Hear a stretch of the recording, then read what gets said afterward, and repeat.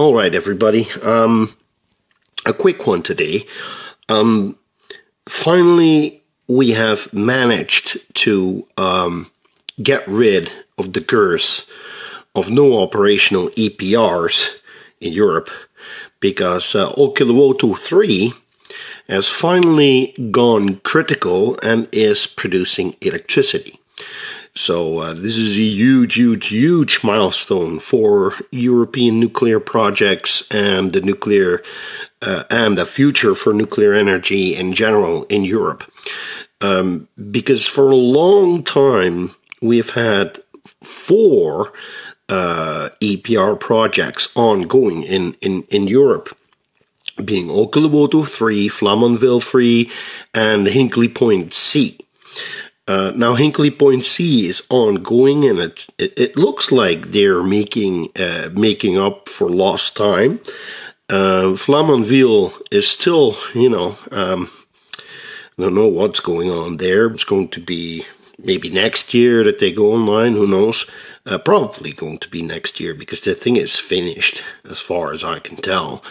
Um, but the, the good thing is that if you look at uh, the production of Olkiluoto 3, uh, w- once it goes online and it produces um, produces electricity uh, at full capacity, which means 1650 megawatts, which is not a small number, um, then it will help us reduce our uh, reliance on Russian gas a little bit. It, it, you know, uh, it's it's a big plant, but still we use a lot of gas in Europe. So, um, yeah. So, but but I'm very happy because we finally have a finished one in Europe, and um, even though it's big and clunky and uh, it, it costs a lot of money. Uh, not saying that it is necessarily uh, not a good deal, but it's just a lot of money that you need to invest you know. Let's let's say that suppose you want to build two you need at least let's say that the lowest figure is is is maybe 12 maybe 14 billion euros.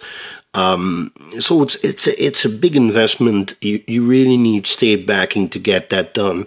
Um, but here here's here's here's the deal uh, we need more of these. So I'm very happy uh, to to to see that France is uh, going to build six more. Uh, that England, by um, announcement of Kwasi Kwarteng, who is the Minister for Business in the UK, uh, says that he is going to move ahead with uh, Sizewell C uh, which is also a huge deal. And and and then uh, you know, let's hope that other countries will join in as well, because we need as many of these projects as we can get our hands on. Uh, for the simple reason that once we build one, we can then uh, apply the lessons that we learned building those, this one uh, power station to the next and the next and the next.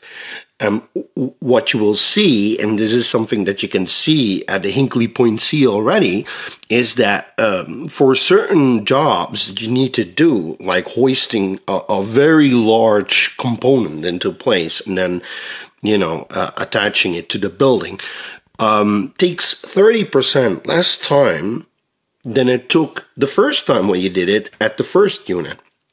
And this means that you can save money on the next build, and then you can save money on the next build. And at some point, you have figured out how to build these plans as good as you possibly can. And that's the point when you when you stop getting you know these uh, the, the these lower prices for building these reactors.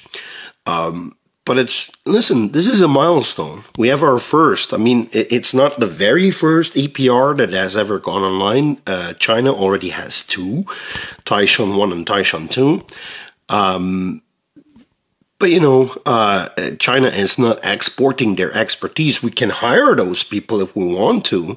You know, the people who built the EPRs in, in China, but it's it's likely that they already have a new job over there, in the nuclear business um, building uh, Hualong ones, for instance, which is uh, a, a, Chinese variant of a pressurized water reactor. So uh, let's just take this for what it is. Beautiful. We have another 1650 megawatts online as we speak.